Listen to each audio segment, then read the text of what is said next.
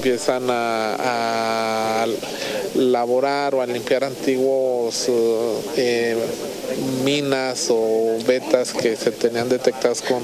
con anterioridad, dice empiezan a trabajar, pero no de manera organizada, ordenada ni de manera formal.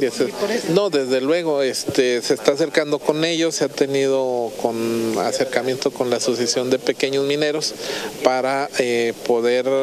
orientarlos igual tanto a trabajadores como a, como a los patrones de los derechos y obligaciones que tienen, del cumplimiento de la normativa que se debe dar y, pues ser muy puntuales porque en este tipo de empresas es donde se desarrolla